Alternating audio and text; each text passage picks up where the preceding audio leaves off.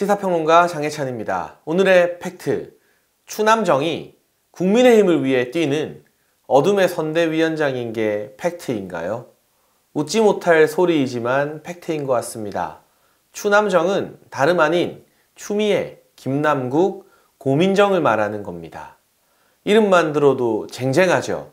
추미애와 김남국, 고민정이라니.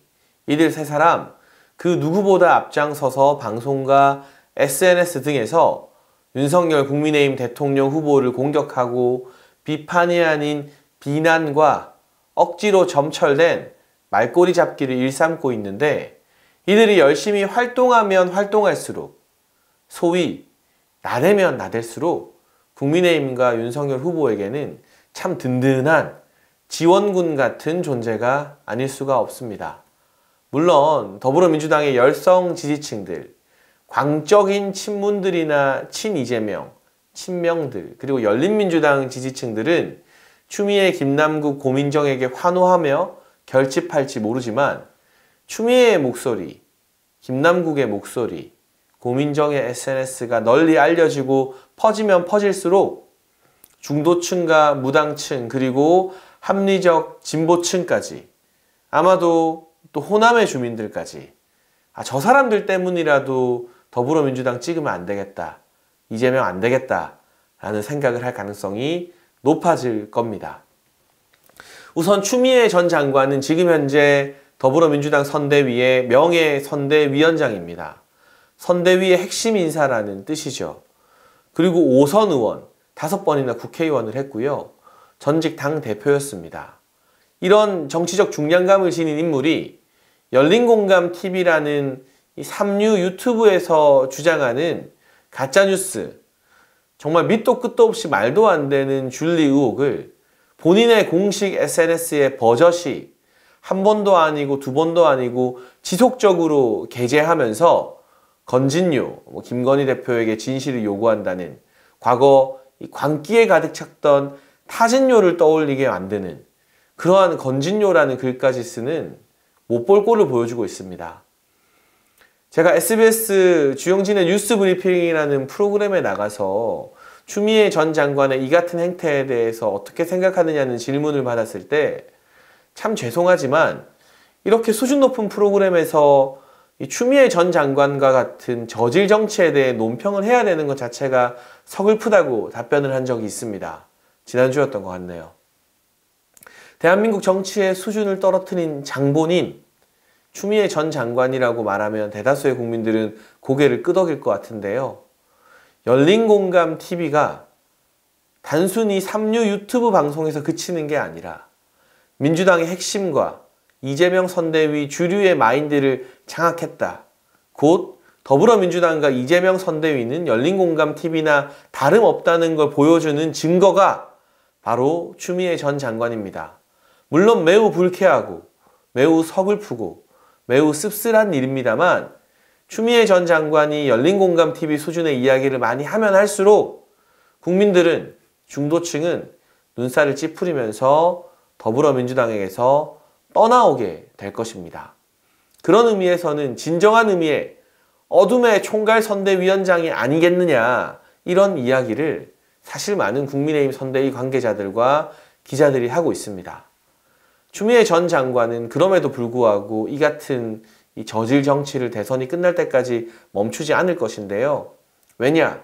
이성적 판단을 하기에는 이미 너무 멀리 와버렸고 어쩌면 중도층의 민심보다 자신에게 열광하는 강성 지지층의 민심만 가지고 자신의 정치를 도모하는 이기적인 마음도 있지 않을까 추측해 볼 수 있겠습니다.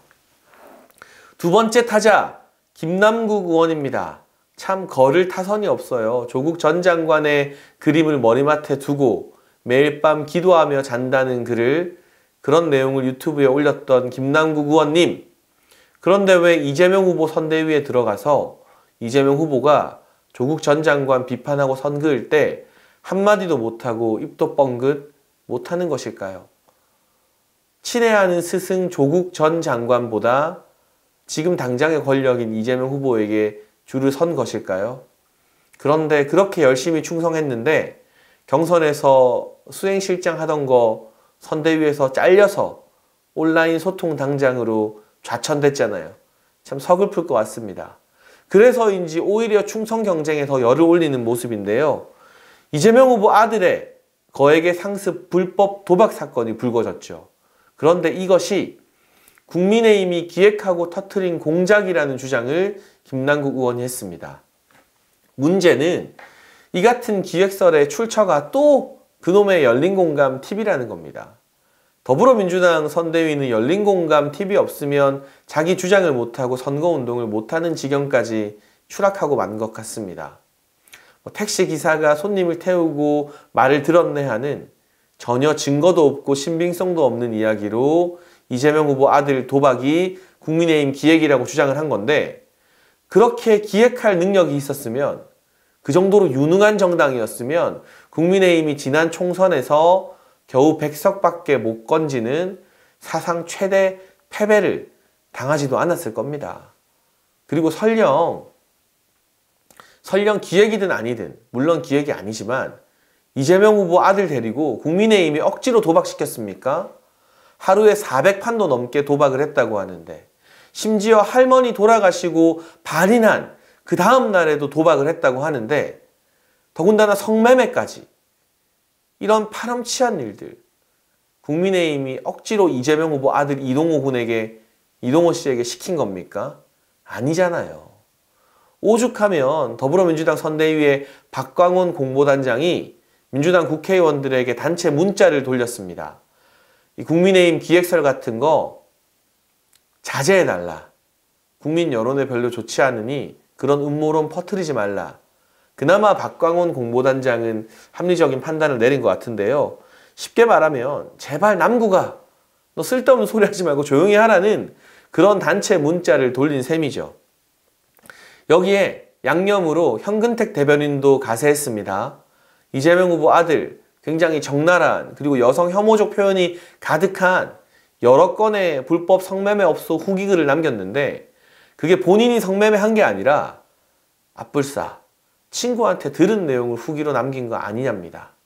국민을 바보로 알아도 정도 것이지 이 현근택 대변인의 양념까지 더해져서 김남국 의원의 자책골이 이재명 후보 아들의 도박 사건 그리고 성매매 사건을 더 크게 키우고 있습니다.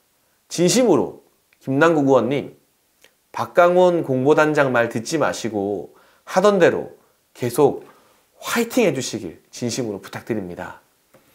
마지막 타자는 고민정 의원입니다. 떠오르는 다크호스죠.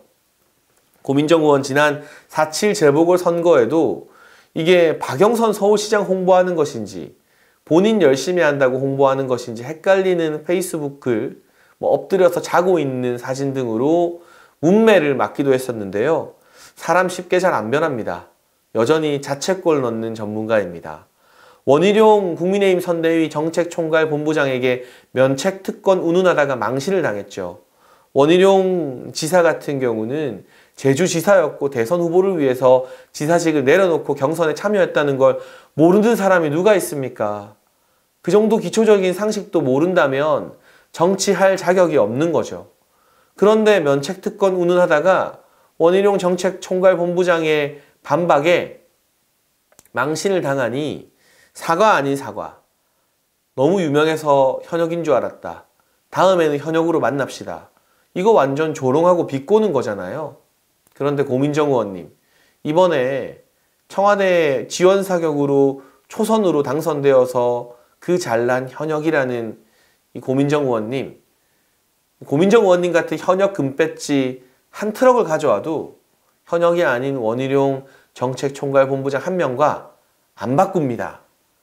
민주당도 마찬가지일 겁니다. 선택할 수 있다면 원희룡 총괄 본부장 같은 분을 선택하겠죠. 본인이 자책골 넣는 전문 자책골 스트라이커라는 걸 좀 자각하시고 자중하고 적어도 사과할 때는 무식하고 모르는 건 괜찮아요. 무지한 건 괜찮아요. 면책 특권이 뭔지 뭐 이런 거 모를 수도 있죠. 그럼 깔끔하게 사과하고 인정해야지 현역 아닌 줄 몰랐다. 다음에는 현역으로 만나자. 이런 식의 비아냥 담긴 사과로 인성까지, 인간성까지 바닥이라는 걸 온 국민에게 보여줄 필요가 뭐가 있겠습니까? 참 안타까워서 진심으로 조언을 드렸는데요. 제 조언 들을 리는 없을 것 같고 역시 고민정 의원님도 김남국 의원님과 함께 또 추미애 전 장관과 함께 계속해서 화이팅 해주시길 바랍니다. 오늘의 팩트 추남정 국민의힘을 위해 뛰는 어둠의 선대위원장이다. 이분들의 활약이 부각될수록 언론의 기사가 많이 날수록 국민의힘 선대위 입장에서는 박수치고 좋아할 일이 아닐 수 없습니다. 하지만 한편으로는 이렇게 자책골 넣는 정치 자체를 우습게 만들고 혐오하게 만드는 사람들이 여당의 대표였고 장관이었고 명예선대위원장이고 현역 국회의원이라는 현실 자체가 참 많이 서글프고 씁쓸할 따름입니다. 이런 분들 없이 보수 진보 여야의 제대로 된 에이스들이 정책 경쟁, 비전 경쟁, 그리고 토론으로 경쟁하는 그런 선거는 대체 언제쯤 치를 수 있을지 마음이 답답해지는 걸 느끼면서 오늘의 방송을 마무리하겠습니다. 저는 다음 시간 또 다른 팩트를 들고 돌아와서 여러분과 함께 싸우겠습니다.